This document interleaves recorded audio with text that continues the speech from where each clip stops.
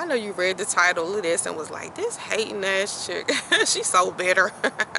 Excuse me as I kiss the sky.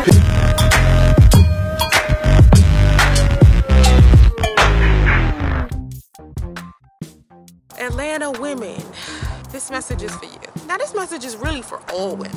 I want to tell you how your behavior is detrimental to other women. And as I explain this, you will be able to understand why I'm saying it. So if you happen to run into my son's father, okay, his name is Priest. You happen to run into my son's father, and you come to him and you say, do you have any kids?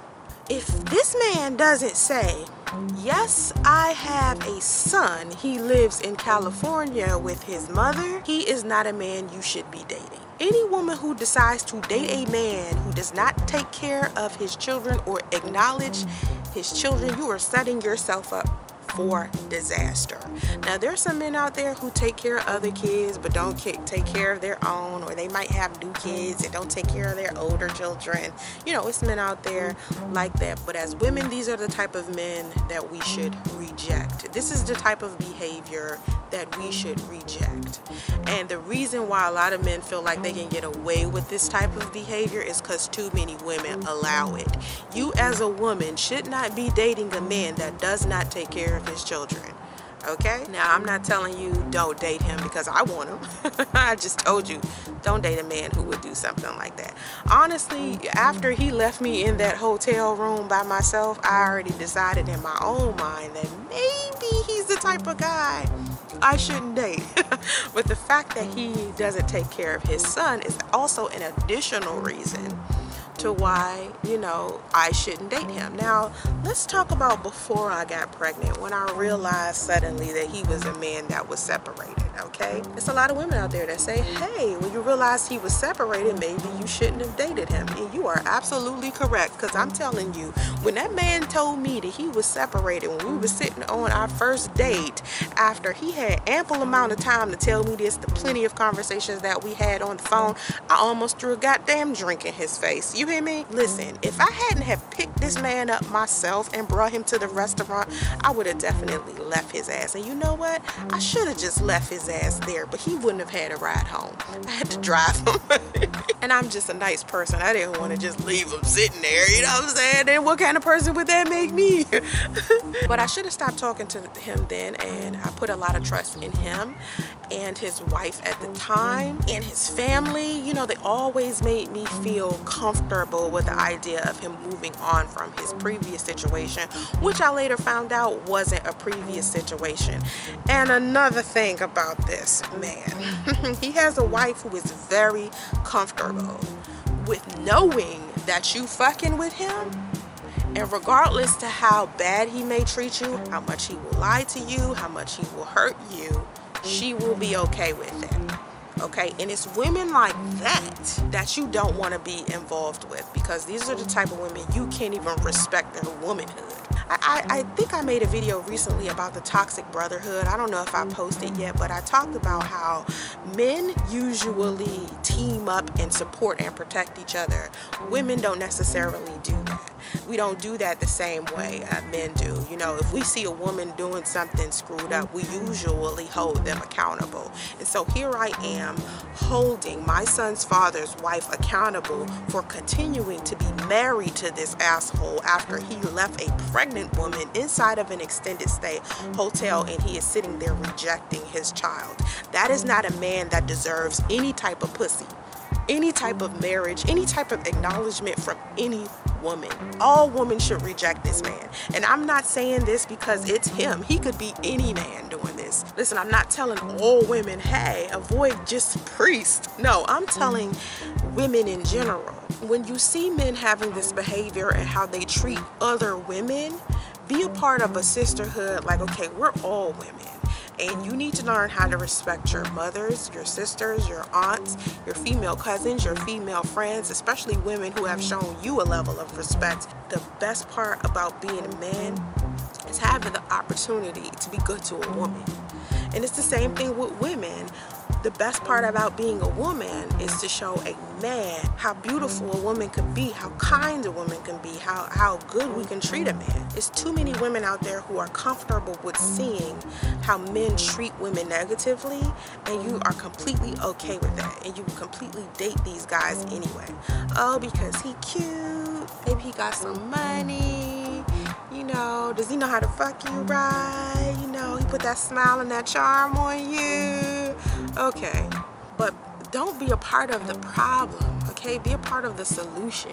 And part of the solution would mean that you actually have to stand up for us as a, as a whole as women as a whole and say you know as a man this is not how women want to be treated. This is not how women deserve to be treated. Mm-hmm. You understand?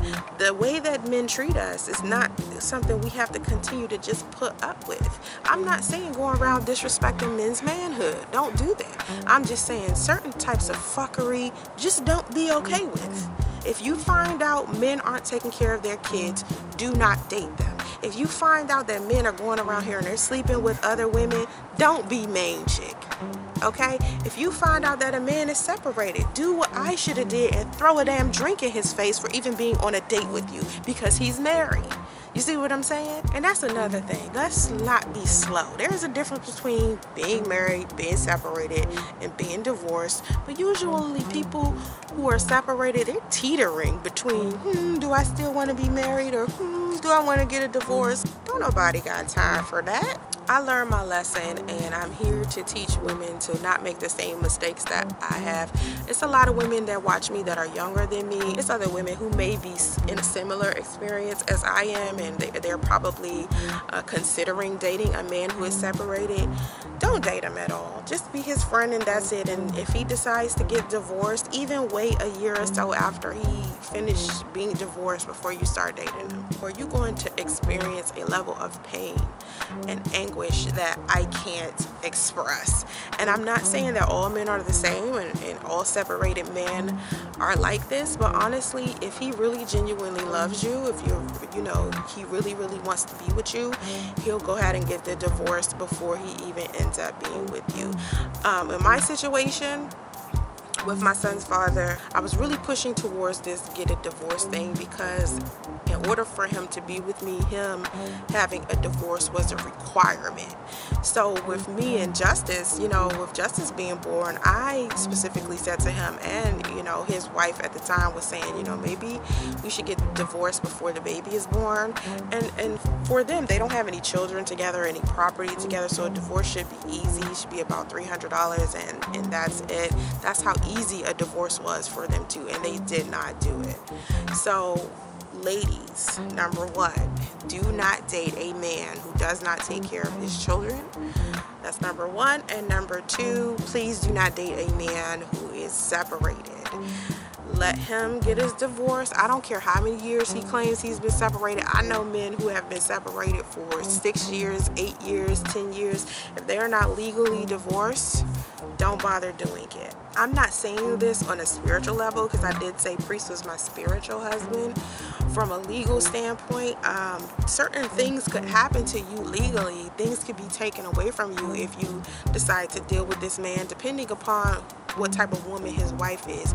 Now, I'm questioning priest's wife's character for continuing to be with him after she knows what went on, you know, I do question that. And this is the type of woman I'm telling you ladies to not be. Don't let any man think that the type of behavior remotely close to anything that priest has done to me is okay. Because it's a lot of pick me women out there. It's a lot of pick me, pick me. We know what the pick me woman is, okay? They, they just like, oh, men do blah, blah, blah. Let men do blah, blah, blah. Like they'll excuse a man's fuckery in a heartbeat, okay? Because they want to be picked so bad. Realize the difference between fuckery and an actual mistake. Like sometimes men make mistakes. You know, sometimes there's men out there who, who actually want to be fathers to their children and the women uh, in their life are making it difficult for them. It's men out there that's like that. That's not priest situation at all. We're talking about men who know they have children, men who have done fuckery when they knew it was wrong and did it anyway because they simply wanted to be assholes. You understand what I'm saying? So as a woman, you are a woman before you are a man's wife. You are a mother before you are a man's wife. So you need to really take in consideration, you know, what type of woman do you want to be? And when you're dealing with other women or you're seeing your husband and how your husband or your boyfriend deals with other women the way he treats them is still a reflection of who you are what you allow the behavior of your husband how he carries himself when you aren't around is still a reflection of who you are as a person. That means you know he has this type of behavior, but as long as he doesn't treat you like that, you're okay with it. It's like you'll look over and see your husband beating the shit out of a woman, and you'll just be like, okay, you know, as long as he's not beating the shit out of me, you know, no, no, no. Good men don't do bad things. Good men might make mistakes, but stop attaching yourself to bad men. And when you realize these men are bad men, escape, okay? Let it go. It's gonna hurt. I'm telling you, it hurt me. Like, it really hurt me to let go of this man because the man he had pretended to be for me was so amazing to me. Like, I just loved the man that he was pretending to be. And I did not know he was pretending to be this man. But when I realized that, is when I ran. Don't put up with the bullshit. Don't put up with the bullshit just to keep a man, okay? That's all I wanted to say, all right? I appreciate you watching. Have vision and stay focused. And I'm Namaste.